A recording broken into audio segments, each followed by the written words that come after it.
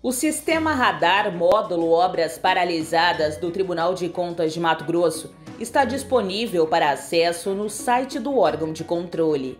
A ferramenta oferece um diagnóstico das construções paradas nos 141 municípios do estado. Atualmente são cerca de 2.300 obras.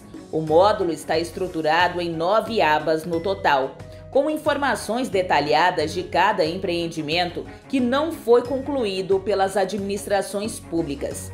Qualquer cidadão pode ter acesso a essas informações e acompanhar o desempenho da execução desses projetos investidos com dinheiro público.